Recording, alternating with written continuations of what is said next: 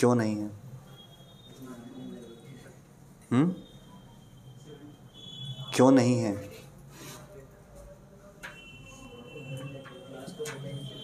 Class का पता ही नहीं चला। क्यों मैसेज नहीं पढ़ते? हैं? और? आज कॉल आया था मतलब फ़र्स्ट वाले सेवन वाले मुझे उनका आज कॉल आया था उन्होंने बोला कॉपी और पेन ले आना मुझे।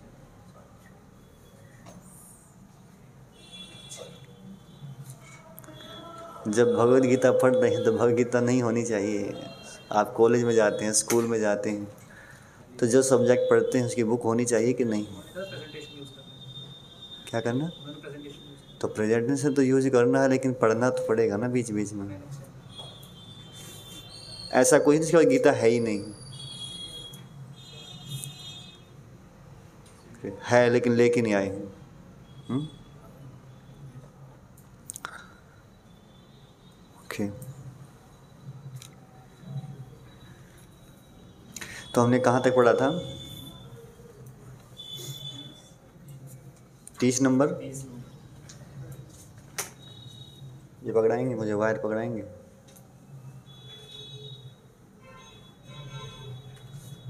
ब्लैक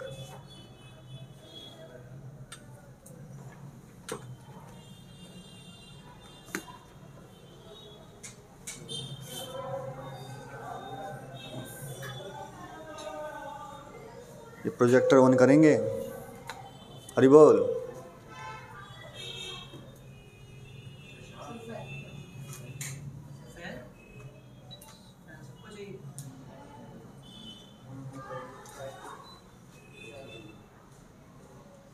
फ़ैन ऑन कर दो, किसी को प्रॉब्लम नहीं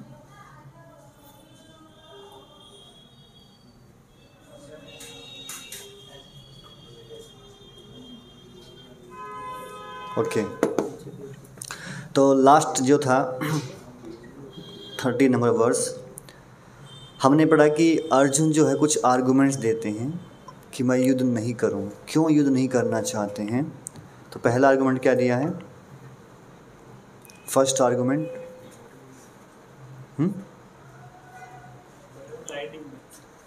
light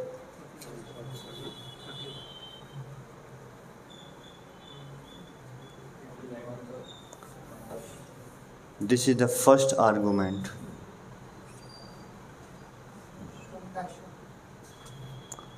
out of compassion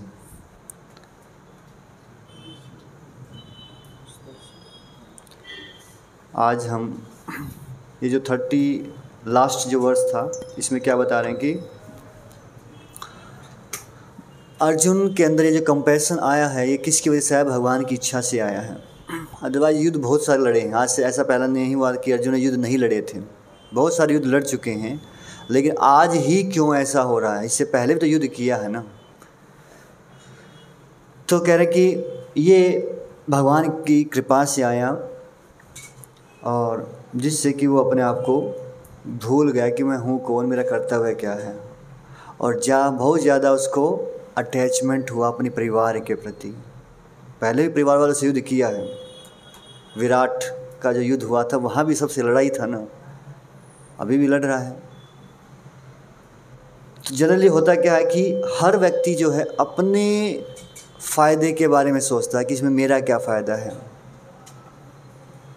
लेकिन उसका जो वास्तविक फ़ायदा किसमें है the real interest of jiva is in Krishna और विष्णु और जब व्यक्ति अपने बारे में सोचता है तो क्या होना है, उसको फिर दुख झेलने पड़ते हैं।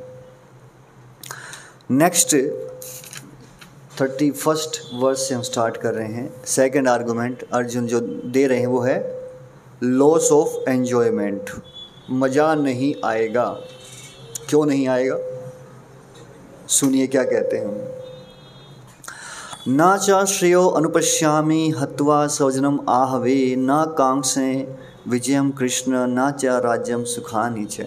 हे कृष्ण, इस युद्ध में अपने ही स्वजनों का वध करने से ना तो मुझे कोई अच्छाई दिखती है, और ना मैं उससे किसी प्रकार की विजय, राज्य या सुख की इच्छा रखता हूँ। तो बता रहे कि अर्जुन ने पहले भी युद्ध किए हैं, लेकिन इस युद्ध में और पहले के युद्ध में क्या अंतर था? विराट का युद्ध किया था तब भी पांडवों अकेले कौरवों के साथ युद्ध किया था। पर वहाँ एक बात थी कि उनको मारना नहीं पड़ा था। लेकिन यहाँ जब तक मारेंगे नहीं तब तक युद्ध में विजयी नहीं होंगे। तब तक केवल गायों को वापस लेके आना था जब वो गाय विराट के राजा की लेके जा रहे थे। तो इसलिए यहाँ थोड़ा सा डिफरेंस है कि मैं किसी प्रकार की विजय राज्य या सुख की इच्छा नहीं रखता। और इसीलिए मुझे ऐसा युद्ध करने में कोई अच्छाई दिखाई नहीं दे रही है, जब अपने ही लोगों को मारना पड़ रहा हो। और यहाँ पर एक शब्द आया है, श्रेयो। श्रेय। दो चीज़ें हैं, एक होता श्रेयस, एक होता प्रेयस। प्रेयस होता है मतलब तुरंत जो लाभ मिलने वाला है, प्रेयस। और श्रेयस होता है जो लॉन्ग टर्म गोल एक है शॉर्ट टर्म गोल अचीव करने पे आपको क्या मिलेगा, एक लॉन्ग टर्म गोल अचीव करने पे क्या मिलेगा। तो जो प्रेयस है वो शॉर्ट टर्म गोल और श्रेयस क्या है? लॉन्ग टर्म गोल तो कह रहे हैं, श्रेयस, जो मेरे जब कोई कल्याण या कोई लाभ दिखाई नहीं दे रहा इन फ्यूचर हो सकता है अभी लगे कि भैया मैं युद्ध करूँगा तो मेरे को कुछ फ़ायदा हो बट इन द फ्यूचर मुझे कुछ दिखाई नहीं दे रहा है। किम नो राज्यन गोविंद, किम भोगे जीवितेन व, येषामर्थे कांक्षितं नो राज्यं भोगा सुखानि च। त इमे अवस्थिता युद्धे प्राणान् त्यक्त्वा धनानि च आचार्या पितृ पुत्रास्तथैव च पितामह मातुला ससुरा पौत्रा शाला संबंधिन तथा एतान् न हन्तुमिच्छामि घृतोऽपि मधुसूदन, अपि त्रैलोक्य राज्यस्य हेतो किं न मही कृते निहत्यर्धातराष्ट्रा का प्रीति स्या जनार्दन हे गोविंद हमें राज्य, सुख अथवा इस जीवन से क्या लाभ? क्योंकि जिन सारे लोगों के लिए हम उन्हें चाहते हैं, वे ही युद्ध भूमि में खड़े हैं। हे मधुसूदन, जब गुरुजन, पितृगण, पुत्रगण, पितामह, माता, ससुर, पौत्रगण, साले और अन्य सारे संबंधी अपना अपना धन और प्राण देने के लिए तत्पर हैं और मेरे समक्ष खड़े हैं तो फिर मैं इन सबको क्यों मारना चाहूँगा? भले ही वे मुझे क्यों न मार डालें। हे जीवों के पालक मैं इन सबों से लड़ने को तैयार नहीं। भले ही बदले में मुझे तीनों लोग क्यों ना मिलते हों? इस पृथ्वी की तो बात ही छोड़ दें। भला धृतराष्ट्र के पुत्रों को मार कर हमें कौन सी प्रसन्नता मिलेगी?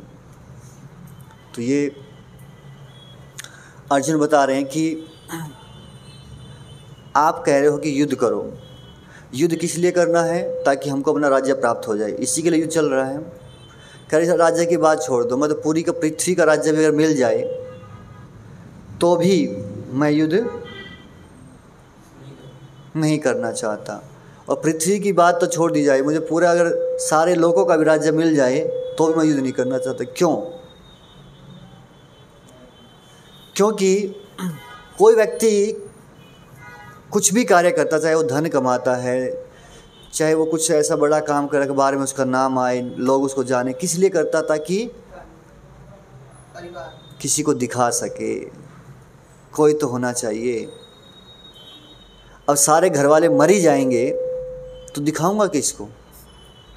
मज़ा नहीं आएगा ना? लॉस ऑफ़ एन्जॉयमेंट मज़ा ख़त्म। कोई बचेगा ही नहीं, किसको दिखाना है? मैं राज्य में सिंहासन में बैठ गया, लेकिन सामने कोई बैठने वाला है ही नहीं। क्या फ़ायदा? राजा बना दिया, लेकिन प्रजा है ही नहीं। तो हमारा पूरा परिवार ही नष्ट हो जाएगा तो उससे का क्या फ़ायदा? इसीलिए मैं युद्ध नहीं करना चाहता। तो भगवान के अलग अलग नामों का उच्चारण कर रहे हैं। इसमें कहते हैं गोविंद। गोविंद शब्द का अर्थ क्या होता है?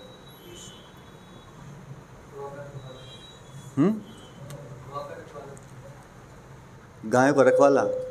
ओके।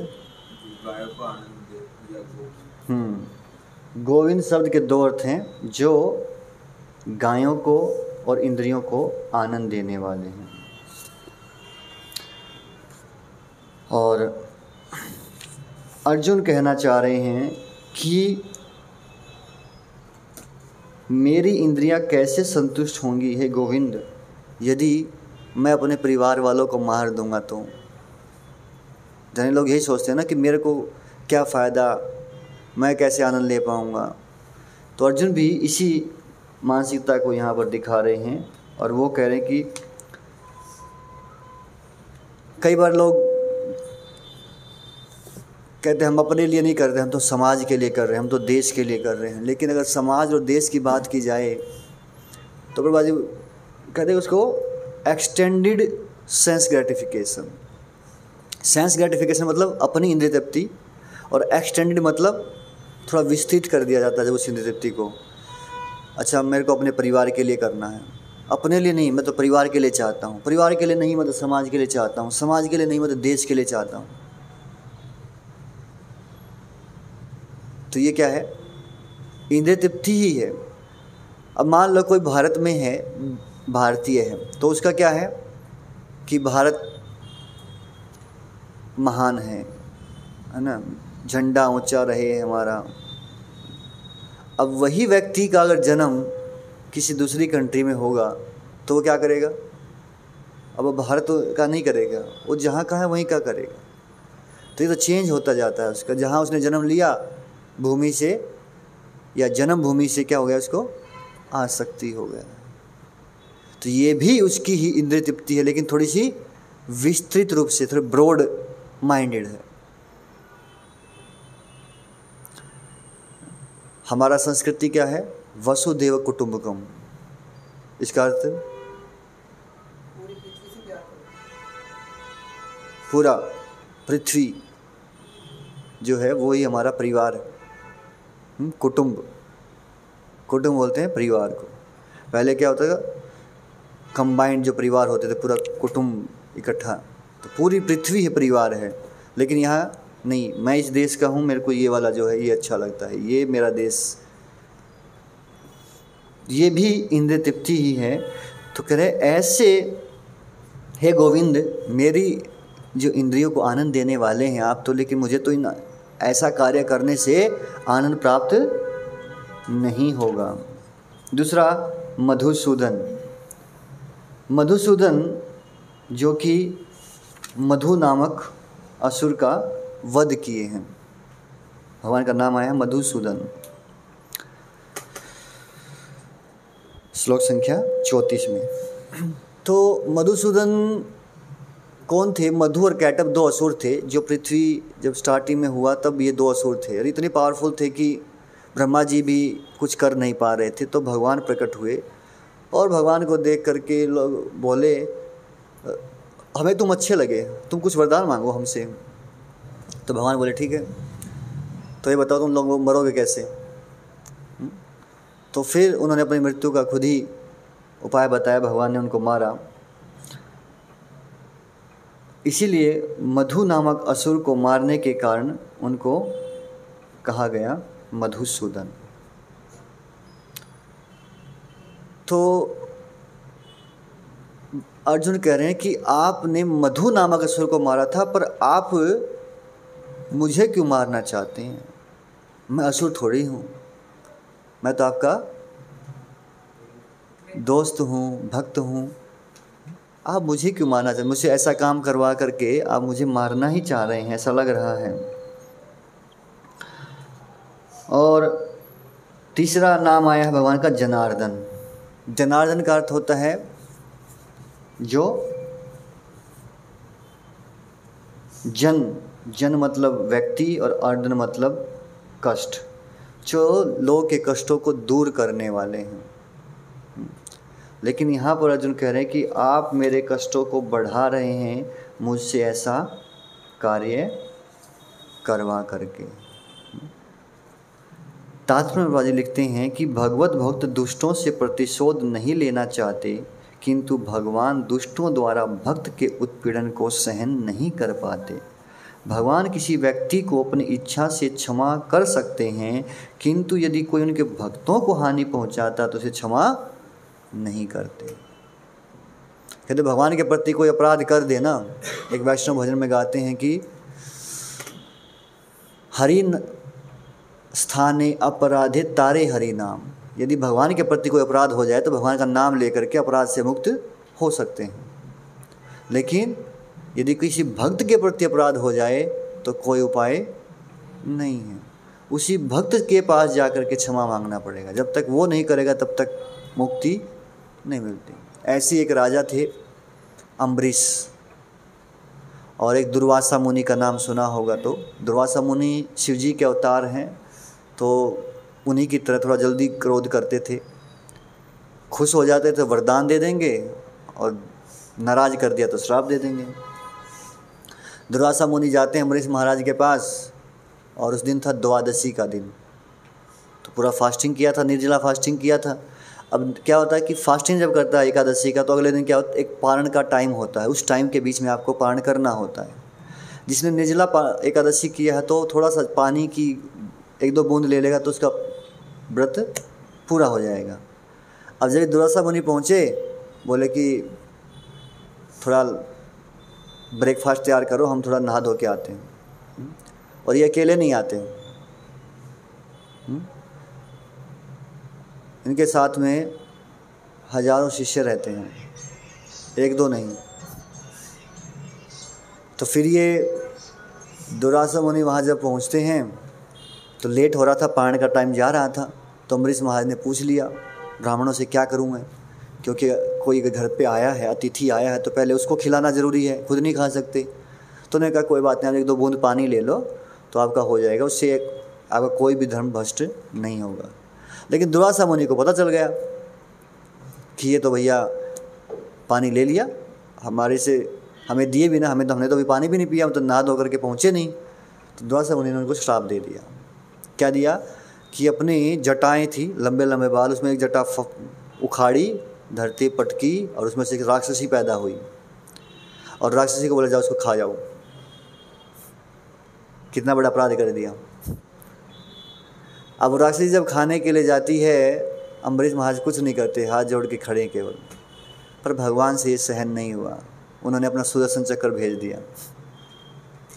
सुदर्शन आया तो ये जो राक्षसी थी पहले तो इसको उड़ाया और फिर दुर्वासा मुनि के पीछे भागा। अब दुर्वासा मुनि देखा, सुदर्शन आ रहा है इसका कोई इलाज नहीं, भाग रहा है। दुर्वासा मुनि भाग रहे हैं, सुदर्शन पीछे पीछे। हर जगह पहुँचे, स्वर्ग लोक में पहुँच गए। ब्रह्मा जी के पास पहुँचे, शिव जी के पास पहुँचे। बोले, हम नहीं कुछ कर सकते भगवान विष्णु के पास पहुँचे, भगवान विष्णु बोले, मैं भी कुछ नहीं कर सकता। बोले, आपका ही तो है ये। कह रहा, है मेरा, लेकिन तुमने गड़बड़ कहीं और की है। तो अम्बरीश महाराज के पास जाके क्षमा मांगो और वो क्षमा कर देंगे, तभी बच सकते हो, नहीं तो कोई सोल्यूशन नहीं है। तो फिर वो दुर्वासा मुनि अम्बरीश महाराज के पास आए और उनसे क्षमा मांगा। तब सुदर्शन वापस गया। तो कह रहे कि भक्तों के प्रति अगर कोई अपराध होता, भगवान उसको स्वीकार नहीं करते हैं। तो यहाँ पर बताएँ कि हम भी अर्जुन की तरह मोहग्रस्त हो जाते हैं। शरीर के प्रति, परिवार के प्रति, समाज के प्रति। और जहाँ डिसीज़न लेना हो कि हमें अगर दो चीज़ें हैं, भगवान के लिए कुछ करना है या अपने लिए कुछ करना तो हम किसको चूज़ करते हैं? अपने लिए, है ना? क्योंकि भगवान के ऊपर तो कोई भरोसा है नहीं। सब कुछ हम ही करने वाले हैं। यहाँ तक कि व्यक्ति इस बात को स्वीकार करता भी है, मानता भी है, लेकिन प्रैक्टिकली उस चीज़ को समझ नहीं पाता है। कोई व्यक्ति बहुत ज़्यादा बीमार है, डॉक्टर के पास जाते हैं तो डॉक्टर क्या सोचते हैं? डॉक्टर भगवान है, डॉक्टर बचा लेगा। लेकिन अच्छे से अच्छा डॉक्टर भी बचा नहीं सकता यदि किसी का समय आ गया है तो। अच्छे से अच्छी दवाई कुछ नहीं कर सकती। और लेकिन यदि किसी को बचना है तो झोला छाप हैं झोला छाप डॉक्टर वो भी कोई लाल पीली गोली दे देगा, उससे भी ठीक हो जाएगा। और उसको ठीक होना है तो। और नहीं होना तो अच्छे से अच्छा डॉक्टर हो, अच्छे से अच्छी मेडिसिन हो। जब कोरोना आया था, क्या हुआ? मेडिकल के क्षेत्र में देखा जाए तो कौन सी कंट्री सबसे आगे है?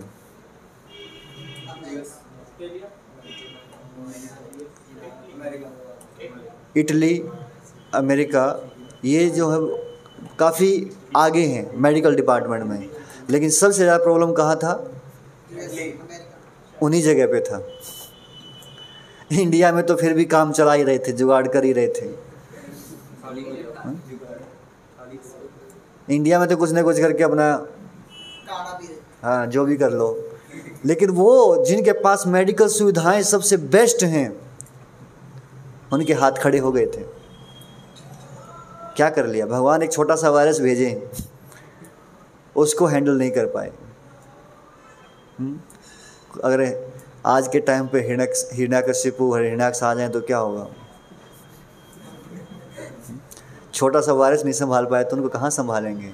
कितनी गोलियाँ ठोकते रहो, ये ए के फोर्टी सेवन और मिसाइल से भी उड़ा दोगे तब भी कुछ नहीं होने वाला। है आपको पता है कुंभकर्ण कैसा आदमी था, वो खा जाता पूरा पूरा अस्त्र शस्त्र भी खा जाता था।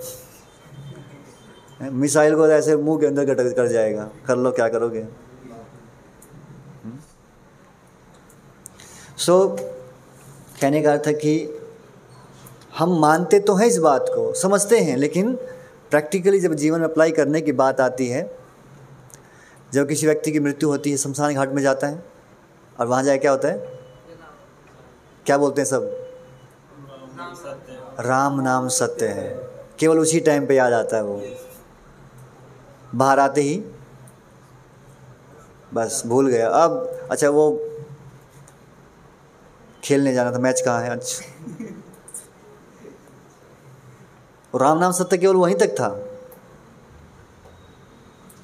अगर आपके पास दो चॉइस हो कि चलो क्लास में आना है, दूसरा मैच खेलने जाना है या मैच देखने जाना है। ना? इंडिया पाकिस्तान का मैच चल रहा है, कोई तो क्या करेंगे? क्लास में नहीं आएँगे। क्लास में नहीं आएँगे। हम्म। समझ रहे हैं? मैच देखने जाएँगे। क्यों? भगवान के बारे में तो फिर सुन लेंगे क्या बात है। पर मैच नहीं जाना चाहिए। सो so, श्री विश्वनाथ ठाकुर कहते हैं कि अर्जुन क्या सोच रहा था कि I will win the battle but I will suffer greatly those I kill will be elevated to the sun planet but no good reaction will come to me तो अर्जुन ये सोच रहा था कि मैं जीत जाऊँगा और फिर भी मुझे बहुत दुख होगा। क्यों? जो मरेंगे तो ऊपर के लोग में चले जाएँगे और मैं यहीं पड़ा रहूँगा। मुझे तो उसका रिज़ल्ट भुगतना ही पड़ेगा।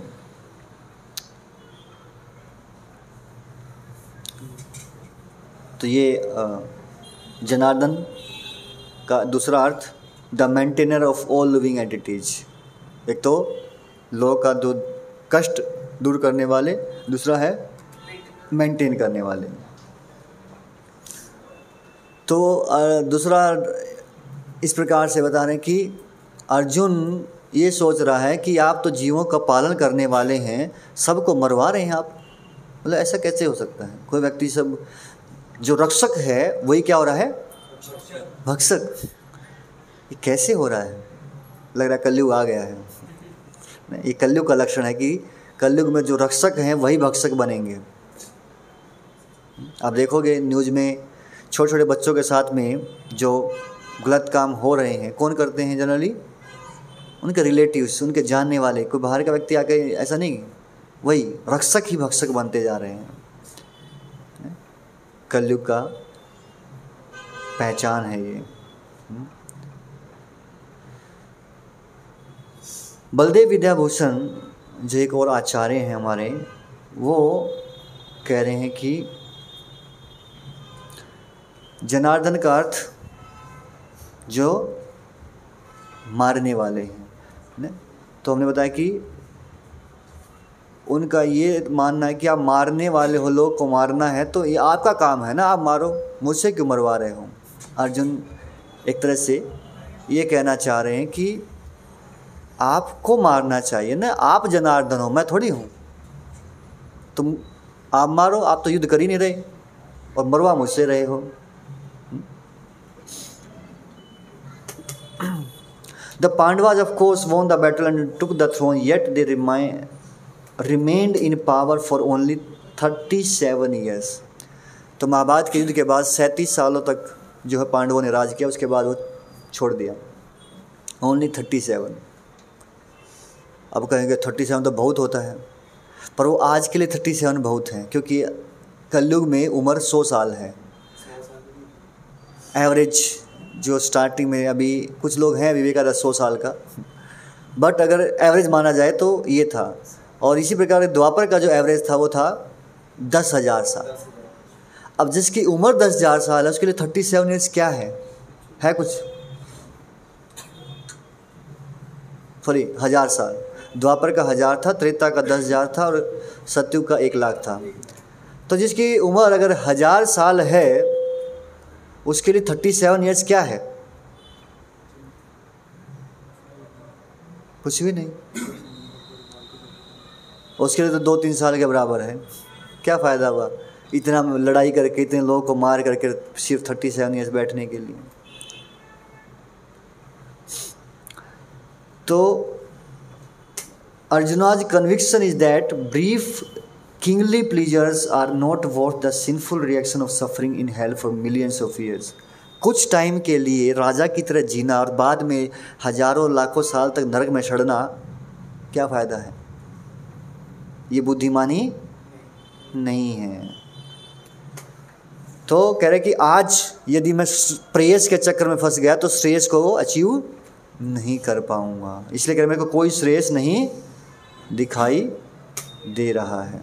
तो ये इसका ग्राफ है।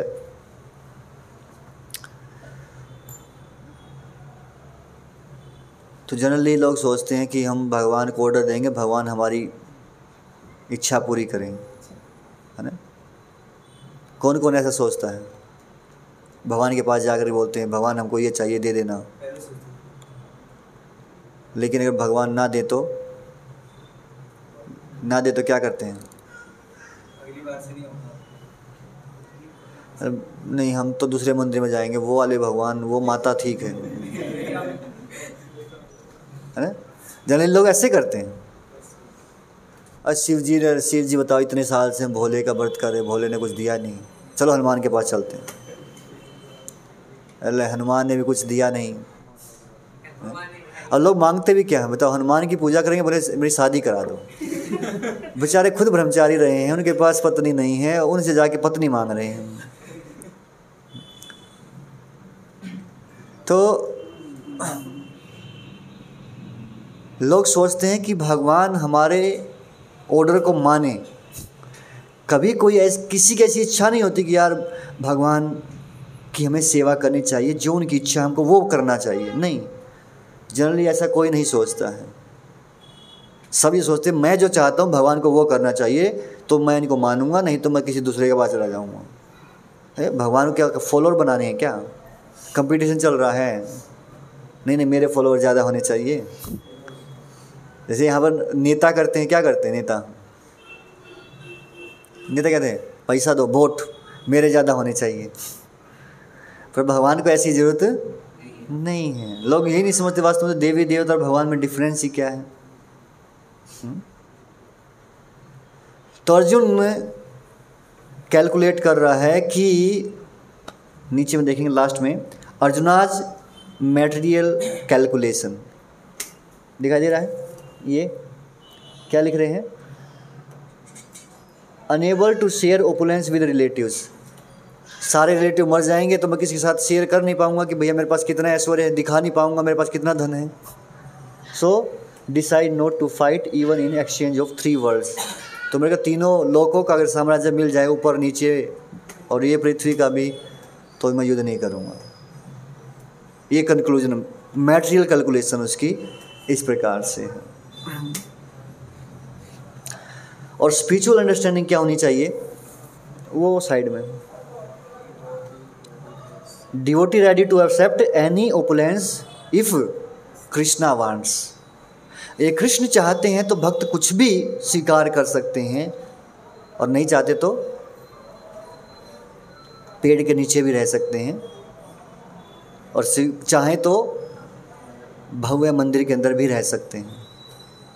That depends do not complain otherwise if Krishna no desire यदि कृष्ण कुछ देते नहीं हैं, जो हम मांगते हैं तो वो कभी कंप्लेंट भी नहीं करते हैं कि भगवान आपने दिया नहीं। मैं तो इतने सालों से भक्ति कर रहा हूँ, इतने सालों से नाम ले रहा हैं? अभी तक मेरी नौकरी नहीं लगवाई, आपने बताओ। तो दे डोंट कंप्लेन क्यों? बिकॉज़ दे हैव फेथ किस चीज़ का फेथ है? कि मेरे लिए जो अच्छा होगा, कृष्ण वही करेंगे। कई बार होता है कि हमको लगता है कि मैं जो सोच रहा हूँ, ये अच्छा है मेरे लिए। बट भगवान कुछ और प्लान है। वो हो सकता है आपको उससे कुछ बेहतर देना चाहते हैं। या जो हम मांग रहे हैं, हम उसको प्राप्त करने के योग्य ना हो। तीसरा, समय कम है, जल्दी जल्दी करेंगे। तीसरा आर्गुमेंट अर्जुन देते हैं सिनफुल रिएक्शन कि पाप लगेगा मुझे। अगर मैंने युद्ध किया और इनको मार दिया तो क्या होगा?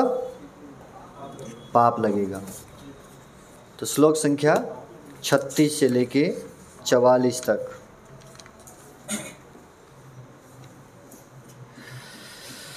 तो यदि हम ऐसे आदताइयों का वध करते हैं तो हम पर पाप चढ़ेगा। अतः ये उचित नहीं होगा कि हम धृतराष्ट्र के पुत्रों तथा उनके मित्रों का वध करें। हे लक्ष्मीपति कृष्ण, इससे हमें क्या लाभ होगा? और अपने ही कुटुंबियों को मारकर हम किस प्रकार सुखी हो सकते हैं? तो कह रहे आदताई जो हैं, कौन हैं? छः प्रकार के होते हैं। आदताई। क्या करते हैं वो? तात्पर्य में पढ़ेंगे। पहला है विष देने वाला। तो कौरवों ने विष दिया। भीम को विष दे के मारने का प्रयास किया। घर में आग लगाने वाला, लाक्षागृह में जलाकर मारने का प्रयास किया। घातक हथियार से आक्रमण करने वाला, धन लूटने वाला, उनकी प्रॉपर्टी हड़प ली। और जो वहाँ का, जब वो यज्ञ किया था, राजस्व यज्ञ और उस समय पर जितने भी धन आया था तो क्या किया? सारा सारा लूट के ले गए। दूसरे की भूमि हड़पने वाला चलो, उस समय तो यू जीत लिया था जुए में, लेकिन बाद में तो देना चाहिए था ना, उस पर तो कब्जा करके बैठे हैं। और पराई स्त्री का अपहरण करने वाला, द्रौपदी का अपहरण करने का भी प्रयास किया गया था।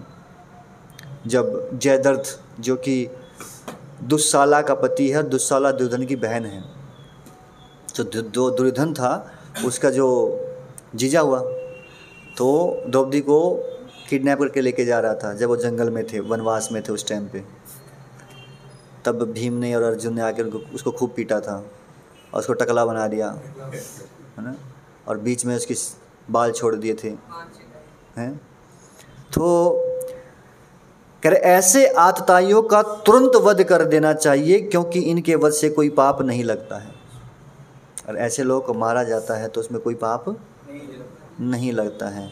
लेकिन अर्जुन क्या कह रहे हैं यदि हम ऐसे आतताइयों का वध करते हैं तो हम पर पाप चढ़ेगा। तो जब व्यक्ति नेगेटिव सोचने लग जाता है तो सब कुछ उसको नेगेटिव ही दिखाई देता है। तो कौरवों ने छः के छः प्रकार के कार्य किए हैं, जो कि आतताई करता है, और ऐसे आतताइयों को मारने में कोई पाप नहीं लगता, लेकिन फिर भी अर्जुन मारना नहीं चाह रहा है। वो कह रहा है कि मेरे को पाप लगेगा।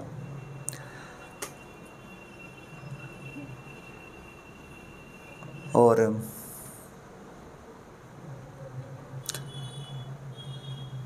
दूसरा भगवान का नाम इसमें आया है माधव। माधव का अर्थ है माँ मतलब लक्ष्मी, धव मतलब पति। जो लक्ष्मी के पति हैं, वो है माधव। तो आप तो लक्ष्मी पति हैं, आप तो माधव हैं। तात्मबाजी लिखते हैं, अर्जुन द्वारा कृष्ण को माधव अथवा लक्ष्मीपति के रूप में संबोधित करना भी सार्थक है। वह लक्ष्मीपति कृष्ण को ये बताना चाह रहा था कि वे उसे ऐसा काम करने के लिए प्रेरित ना करें जिससे अनिष्ट हो। लास्ट लाइन में कि ऐसा काम करने के लिए आप तो लक्ष्मीपति हैं ना, आप ऐसा क्यों करवा रहे हैं कि मेरे पास से लक्ष्मी चली जाए? लक्ष्मी जनरली कहाँ रहते हैं जहाँ व्यक्ति ने कुछ पुण्य कर्म किए होंगे और जब उसके पुण्य खत्म हो जाते लक्ष्मी वहाँ से चले जाए। एक जगह नहीं रुकती वो। वो इसी लक्ष्मी का दूसरा नाम है चंचला, जो चंचल एक जगह टिक के नहीं रह सकते। केवल टिकती वो एक जगह ही है और वो है भगवान के चरणों में लक्ष्मी जी कहाँ सेवा करती हैं? भगवान की चरणों में। फिर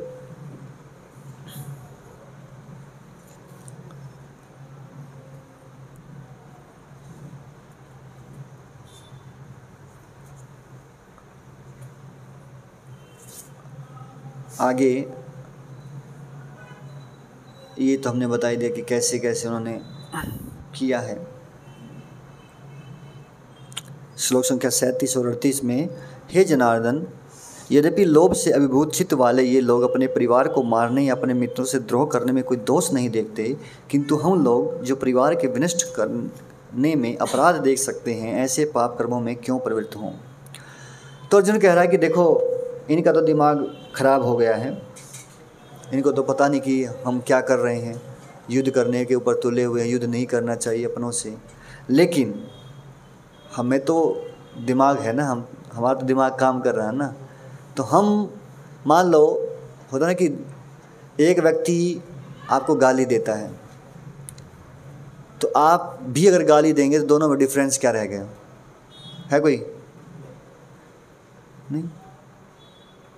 तो बोले, ये लोग कर रहे हैं तो हम भी ऐसा ही करेंगे तो हम मेरे मंत्र क्या है? हम तो जानते हैं कि ऐसा करने से पाप लगता है, अपराध होता है, इसलिए हम ऐसा नहीं करें।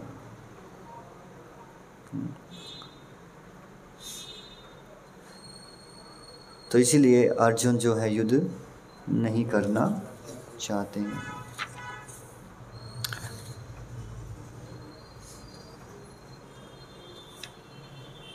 कह रहे कि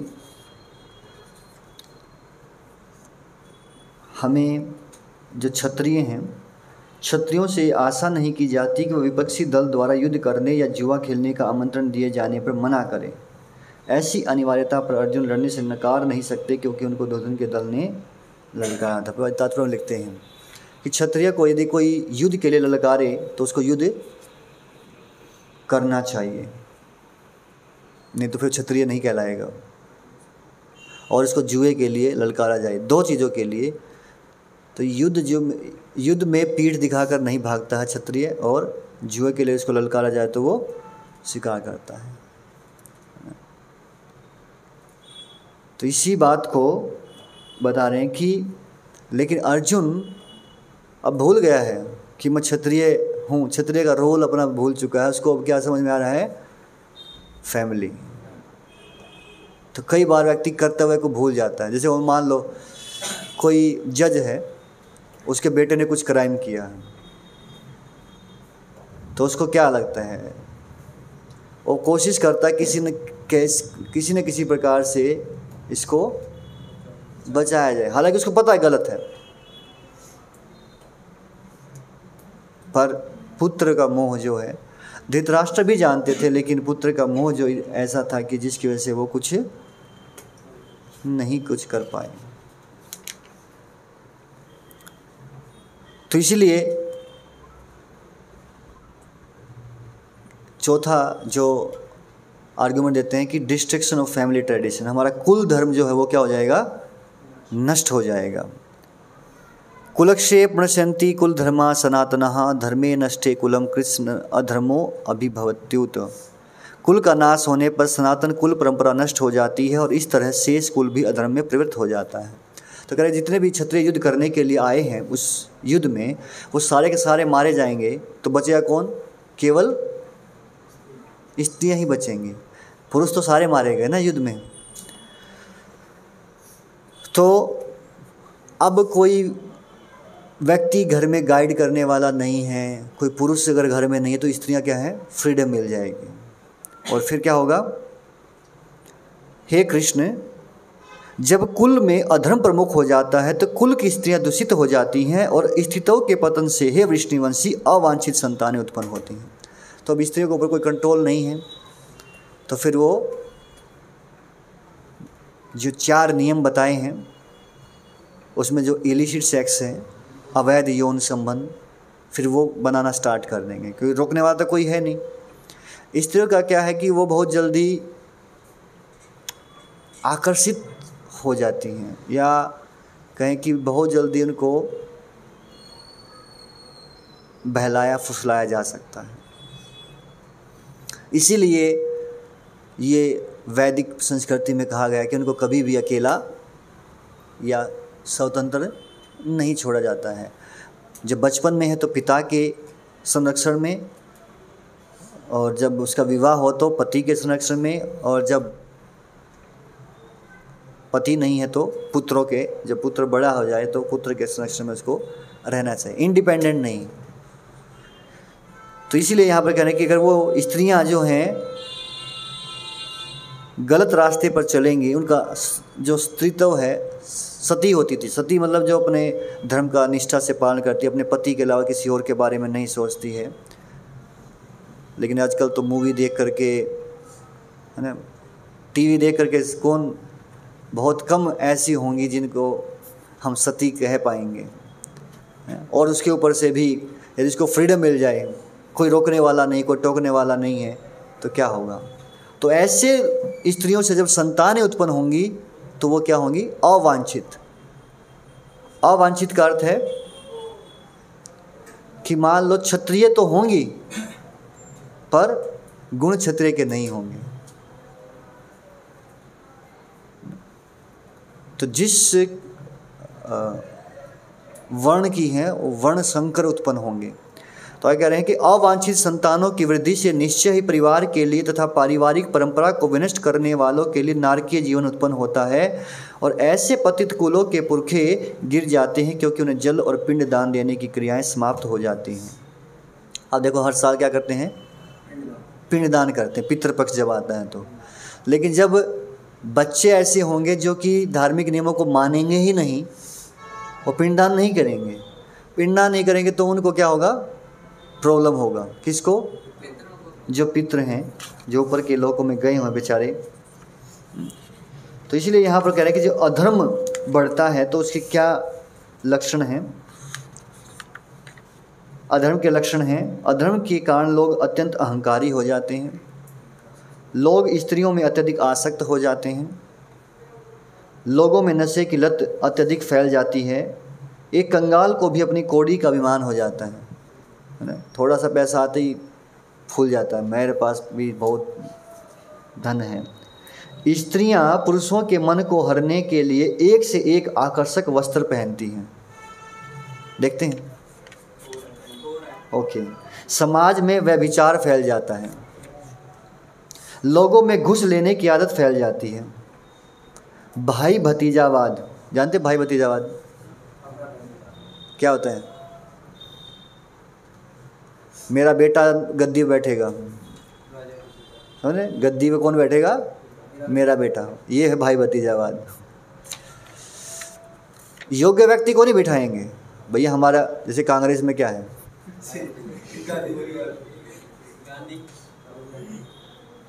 ये भाई भतीजावाद हमारी फैमिली से कोई होना जाए चाहे किसी काम का नहीं हो ना कारा हो। बैठे भाई। सामान्य रूप से लोग उद्दंड हो जाते हैं, लोगों में लोभ की भावना बढ़ जाती है। एक दूसरे को हर बात पर धोखा देने का प्रयास करते हैं। हिंसा बढ़ जाती है। लोग भ्रष्टाचारी होने के कारण दुखी स्त्रियों को असहाय अवस्था में त्याग देते हैं। बच्चों का पालन और उनकी रक्षा नहीं करते, छोड़ के भाग जाते हैं। अमेरिका में यही तो हो रहा था। इसलिए तो वहाँ के लोग परेशान थे। कि स्त्रियाँ संबंध बनाती, और जब बच्चे पैदा हुए, तब कौन संभालेगा? पिता तो है नहीं, पिता गायब। तो गवर्नमेंट के ऊपर बोझ पड़ता था उनका। गवर्नमेंट उसको टेक केयर करती थी, उसका खर्चा गवर्नमेंट उठाती थी। इसलिए गवर्नमेंट ने बहुत सपोर्ट किया बाद में, जब ये ये मोमेंट प्रोपाजी ने स्टार्ट किया, और देखा कि लोग के अंदर ये नशे की आदत और ये चार नियम जो फॉलो करवाए जा रहे हैं तो फिर क्या हुआ? गवर्नमेंट बहुत अप्रिशिएट की थी इस चीज़ को, कि इतना पैसा दे के हम कुछ नहीं कर पा रहे हैं ये फ्री में, है ना, करवा पा रहे हैं। छोटे छोटे बच्चों को कई प्रकार से सताया जाता है। निर्धन होने पर अच्छे स्वामी को भी सेवक छोड़ चला जाता है ने? पैसा नहीं है तो भाग जाओ, हम कोई सेवा नहीं करेंगे। हम केवल पैसे के लिए करते हैं। थोड़े से पैसों के लिए लोग एक दूसरे से नफरत करते हैं और एक दूसरे को मार डालते हैं। लोग अपने वृद्ध माता पिता को घर से बाहर निकाल देते हैं। ये किसके लक्षण हैं? अधर्म के हैं सारे के सारे। तो आप देख सकते हैं कि कितना अधर्म फैला हुआ है। हम्म? यहाँ तक कि लोग शरीर को शुद्ध करने के लिए स्नान करने में भी आलस का अनुभव करते हैं। अभी सर्दी आने वाली है। तो अभी पता चलेगा। कितने लोग सर्दियों में नहाते हैं? नहीं आज तो बहुत ठंड है आज नहीं नहाऊँगा। नहीं? ये क्या है? अधर्म के लक्षण हैं। तो ध्यान से सुन लीजिए हम्म, इस अधर्म से बचना है। तो अधर्म का पालन होगा तो क्या होगा? संतानें भी ऐसी ही उत्पन्न होंगी जो कि धर्म का पालन करने वाली नहीं होंगी। और फिर बाद में नरक में जाना ही है, पर यहाँ रहते हुए भी नरक मिलेगा। कई बार लोग हैं, इसी पृथ्वी पर स्वर्ग भी है, नरक भी है। तो यहाँ भी लोग नरक का जीवन जिएँगे। नरक के ही समान नरक का एव इकतालीस श्लोक में क्या है? शंकरो नरकाएव नरक जैसा ही जीवन जो उनको जीना पड़ेगा। यहाँ रहते हुए भी। कई लोगों को आप देख सकते हैं। और नरक देखना तो हॉस्पिटल में जाके देख सकते हो। हॉस्पिटल असली नरक है।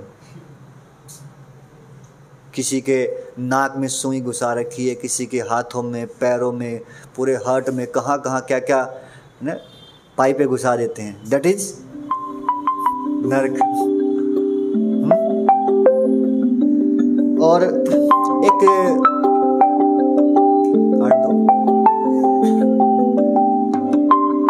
भागवत महात्म जो है, उसमें एक स्टोरी आती है कि एक रा, एक ब्राह्मण था और उस ब्राह्मण का नाम था आत्मदेव। उसकी एक पत्नी थी जिसका नाम था धांधली। और वो थोड़ी सी अलग टाइप की स्त्री थी। उसका कोई संतान नहीं थी। अभी आत्मदेव ब्राह्मण जो किसी सिद्ध महात्मा से भेंट हुई, उसने कहा कि अगर संतान चाहिए तो ये फल जो अपनी पत्नी को खिला देना, वो गर्भवती हो जाएगी।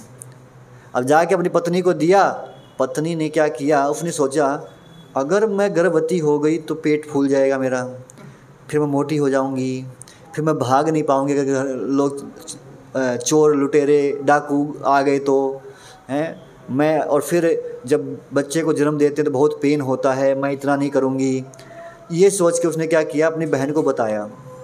और उसकी बहन भी वैसी निकली। उसकी बहन ने कहा अच्छा ऐसा करना। मैं अपना बेटा जो है, वो तेरे को दे दूँगी।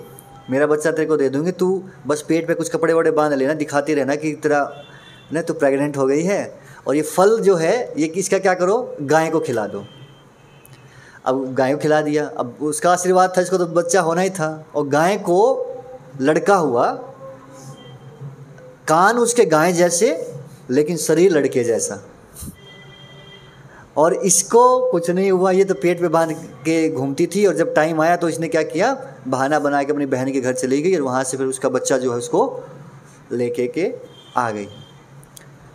अब वो जो बच्चा था, उसका नाम हुआ धुंधुकारी। धुंधुकारी। अब ये धुंधुकारी इतना महान व्यक्ति निकला कि लगा सारे गलत काम करने। पड़ गया लड़कियों के चक्कर में और लड़कियाँ भी क्या, वेश्याओं के चक्कर में पड़ गया। और पिता ने बहुत समझाया, लेकिन कुछ समझा नहीं तो पिता घर छोड़ के चले गए। परेशान हो गए, भैया, घर तो नरक जैसा है, घर से छोड़ के चलो जंगल। हैं, जंगल में चलो। छोड़ो घर बार, चलो चलो हरिद्वार। निकल गया हो तो। अब बची माँ। अब ये क्या करता, रात को, अब घर पे माँ अकेली, माँ को खूब कूटता था। खूब पीटता रहा, बोल बता धन कहाँ छुपा के रखा बता। नहीं तो तेरे को इतना मारूँगा बता। अब बताइए उस माँ को ऐसा लगा कि मैं तो नरक में रह रही हूँ। और फिर कुएँ में कूद के माँ भी गई। अब कौन रोकने वाला है? माँ बाप चले गए। अब वैश्याओं को घर लेके आ गया। अब वैश्याओं की इच्छा पूर्ति के लिए जाता सब काम करता। लूट पाट करना, डकैती करना, फिरौती करना, चोरी करना, सब करता। बाद में वैश्या ने स्वदेश के चक्कर में हम भी फंसेंगे। किसी न किसी दिन सबने मिल करके प्लान बना के उसका गला दबा के मारा और वहीं गाड़ दिया। उसी कुएँ में ख़त्म। अब वो बन गया भूत। और तब इसका भाई जो है, जो वो वो जो गाय से जिसका जन्म हुआ था, वो आया और उसने फिर क्या किया? जिसका नाम था गोकर्ण। गाय जैसे कान है जिसके, गोकर्ण। वो आया और उसने फिर भागवत कथा किया और सात दिन इसने भागवत सुना और प्रेत की योनि से ये मुक्त हो गया। लेकिन कहने का अर्थ है कि नरक जैसा ही जीवन इसके माता पिता को भी मिला और इसको भी वहीं पर भूत पिजात की जो योनि में रहा, चाहता कुछ भी करना लेकिन कर नहीं पाता था। सूक्ष्म शरीर है ना? किसी को टच करना चाहे, कर नहीं सकता, खाना चाहे, खा नहीं सकता। तो कह रहे ये संसार भी नरक जैसा हो जाता है। तो कभी कभी पितृगण जो पाप करते हैं तो यदि उसके लिए जो उनके जो वंशज हैं, अगर वो कुछ पुण्यकर्म नहीं करते हैं तो फिर उनको पापों के लिए ज़्यादा वहाँ पर कष्ट भोगना पड़ता है। और लास्ट है, ये तीन श्लोक हैं। फोर्टी वन तक हुआ है। जो लोग कुल परंपरा को विनष्ट करते हैं और इस तरह अवांछित संतानों को जन्म देते हैं, उनके दुष्कर्मों से समस्त प्रकार की सामुदायिक योजनाएँ तथा पारिवारिक कल्याण कार्य विनष्ट हो जाते हैं। तो समाज में भी व्यवस्था खराब हो जाती है और परिवार का तो हालत वैसे ही खराब होगा इसलिए हे प्रजापालक कृष्ण, मैंने तो गुरु परंपरा से सुना है कि जो लोग कुल धर्म का विनाश करते हैं, वे सदैव नरक में वास करते हैं। तो अर्जुन ये नहीं कह रहा कि मेरे मन से मैं बता रहा हूँ। कह रहे, नहीं नहीं, मैंने सुना है। किससे? गुरु परंपरा से सुना है। ठीक है, अपने मन के आधार पर मैं नहीं बता रहा हूँ, युद्ध नहीं करना चाहिए। मैं तो गुरु परंपरा से। तो ऐसा होता है, जब लस्ट जो है ना लस्ट जिसको बोलते हैं काम ये काम जब बुद्धि के अंदर घुस जाता है तो बुद्धि ऐसे आर्गुमेंट देती है, शास्त्रों से देगी कि नहीं तुम सही कर रहे हो। वो गलत काम को भी सही ठहराएगी। जब ये लस्ट लस्ट जो तीन जगह रहता है, आगे तीसरे चैप्टर में हम पढ़ेंगे, कहाँ कहाँ? इंद्रियों में, मन में और बुद्धि में। जब बुद्धि में घुस जाए तो कोई इलाज नहीं है, लेकिन उससे पहले अगर है तो इलाज है। जैसे कहते हैं ना कि cancer, first stage, second stage, last stage आ गया, अब कोई इलाज नहीं है। लेकिन फ़र्स्ट स्टेज पर रोका जा सकता है उसको, सिमिलरली। इसलिए अर्जुन के अंदर वह भी घुस गया कि मेरे को बस नहीं करना है तो कैसे न कैसे मैं क्या करूँ? आर्गुमेंट दूँगा। तो इस प्रकार से वो आर्गुमेंट दे रहा है कि जो कुल धर्म का नाश करेंगे, उनको सदैव नरकों में रहना पड़ेगा, ऐसा मैंने सुना है। स्कूल में, कॉलेज में अपने गुरु से कहीं ना कहीं से सुना हुआ है। अपने मन से मैं यहाँ पर नहीं कह रहा हूँ। तो इसलिए, हे जनार्दन, आप तो लोगों का पालन करने वाले हैं, कल्याण करने वाले हैं। आप ऐसा कार्य क्यों करवा रहे हैं कि जिससे हमें नरक में जाना पड़े? तो 28 प्रकार के नरकों का वर्णन भागवत में मिलता है कि ऐसा नहीं कि केवल 28 ही हैं, ये मेन मेन है अट्ठाईस। भागवत के पाँचवें स्कंद के लास्ट चैप्टर में इसका वर्णन मिलता है, अट्ठाईस प्रकार के वर्ण वर्ण नरकों का। उसके अलावा भी बहुत सारे नरक हैं। और फिर कहते हैं कि, ओह, कितने आश्चर्य की बात है कि हम सब जगन्य का पाप कर्म करने के लिए उद्यत हो रहे हैं। राजस्व को भोगने की इच्छा से प्रेरित होकर हम अपने ही संबंधियों को मारने पर तुले हुए हैं। हम्म? तो ये तो बड़े आश्चर्य की बात है कि थोड़े से राज्य के लिए, राज्य सुख के लिए हम इतना पाप कर्म कर रहे हैं कि बाद में हमको नरक में जाना पड़ेगा और अभी समझ में भी नहीं आ रहा है। इस चीज़ को समझ भी नहीं पा रहे हैं। इसीलिए यदि शस्त्रधारी धृतराष्ट्र के पुत्र मुझ निहत्थे और रणभूमि में प्रतिरोध ना करने वाले को मारें तो ये मेरे लिए श्रेष्ठकर होगा। तो अर्जुन ने अपने हथियार खड़े कर दिए हैं। हाथ खड़े कर दिए। बोले इससे बेहतर तो ये है कि ये मेरे को मार दे जब मैं युद्ध नहीं कर रहा हूँ। क्योंकि युद्ध करते हुए अर्जुन को हराना भी इतना आसान नहीं होगा किसी के लिए। पर मैं अब युद्ध नहीं करूँगा और ये मेरे को मार देंगे तो मेरे लिए वो ज़्यादा अच्छा है। तो यहाँ पर प्रश्न ये उठता है कि अर्जुन यदि मरना ही चाहते हैं तो शस्त्र के द्वारा ही अपना वध, अपने शस्त्र के द्वारा ही वध कर सकते हैं तो वे ऐसा क्यों चाहते हैं कि धृतराष्ट्र के पुत्र उनका वध करें? तो इसका उत्तर यह है कि अर्जुन जानते हैं कि यदि वे अपने शस्त्र से अपना वध करेंगे तो आत्महत्या का पाप लगेगा और ये भी एक महापाप है। सुसाइड करना भी अपने आप में एक पाप है। इसीलिए अर्जुन पापों से बचना चाहता है और क्षत्रिय नियमों के अनुसार क्या होता है, यदि कोई युद्ध में मारा जाता है, दूसरा व्यक्ति युद्ध में मार दे तो फिर उसको ऊपर के सब लोग की प्राप्ति होगी। तो इसलिए चाहता है कि मैं ये लोग मेरे को मार दे, मैं सब लोगों में चला जाऊँ। न कि भुगतना पड़ेगा, भुगते रहेंगे। मैं तो नहीं भुगतूँगा ना, मैं तो बच जाऊँगा ना। तो इस प्रकार से अर्जुन बोल देता है तो संजय कहते हैं कि युद्ध भूमि में इस प्रकार कहकर अर्जुन ने अपना धनुष और बाण एक और रख दिया और शोक संतप्त चित्त से रथ के आसन पर बैठ गया। तो ये भगवगीता का पहले अध्याय का अंतिम श्लोक है। इसमें संजय धृतराष्ट्र से बता रहे हैं कि अब अर्जुन युद्ध नहीं करना चाहते हैं, उन्होंने अपना निश्चय कर लिया है। ये क्यों, ऐसा क्यों बता रहे हैं? क्योंकि धृतराष्ट्र ने पूछा था कि मेरे और पांडु के पुत्रों ने क्या किया तो दुर्धन ने क्या क्या वो बताया। अब बता रहे हैं कि पांडवों की तरफ़ से मुख्य रूप से अर्जुन थे तो अर्जुन ने क्या किया? युद्ध ना करने का प्लान कर लिया है और अब वो बैठ गए हैं।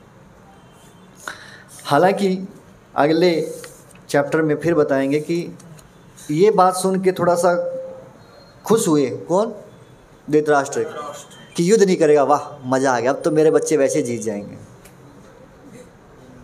लेकिन संजय बताएँगे कि तुम्हारे प्लानों के ऊपर पानी फिर गया है।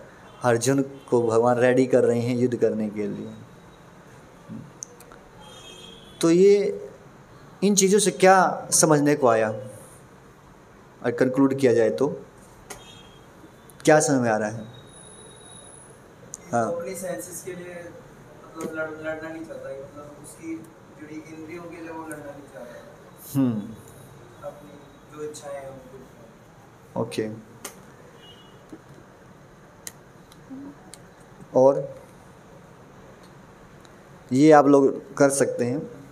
ये क्वेश्चन भी था, हमने क्वेश्चन आंसर दिए थे ना?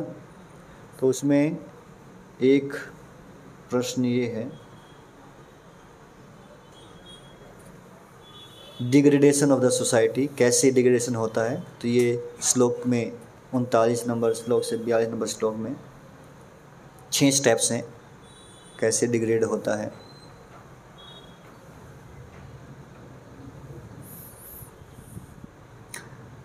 ये देखिए, चीज़ें तो बहुत कुछ हैं।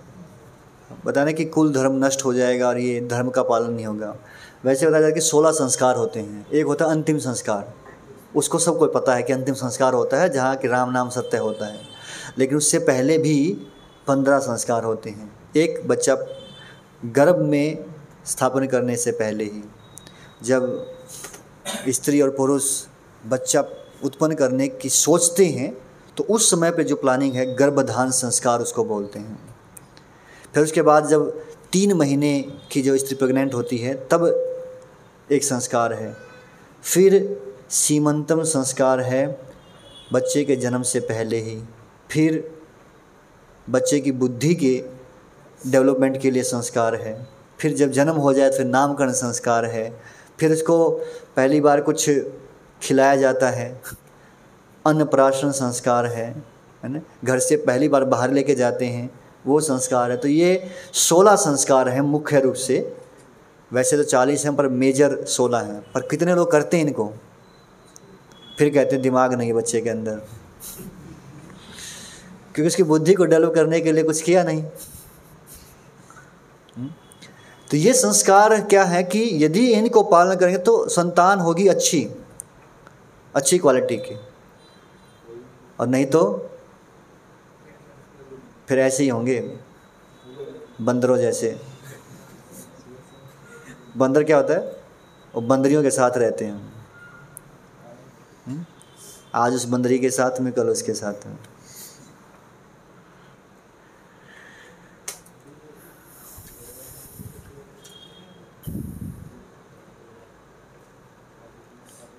ओके। तो ये आपको भेज दिया गया था क्वेश्चन पेपर। तो इसको कंप्लीट कर लीजिएगा। फिर एग्ज़ाम होगा। ये फ़र्स्ट का करना है, फ़र्स्ट चैप्टर का ही। ठीक है? हरे कृष्णा। किसी का कोई प्रश्न है? हाँ।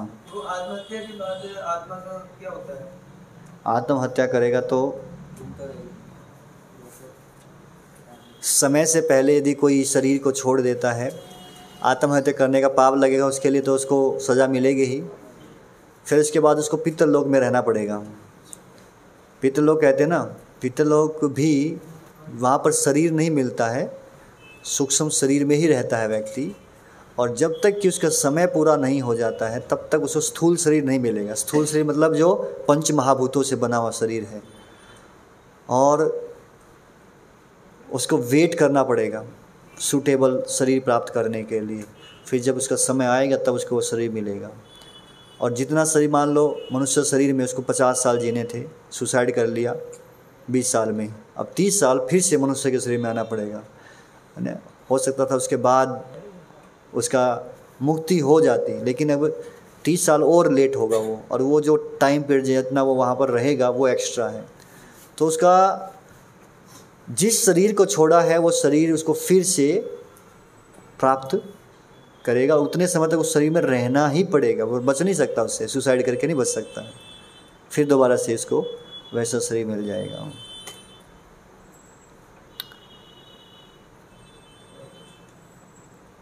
ओके। तो कौन कौन जा रहा है। वृंदावन।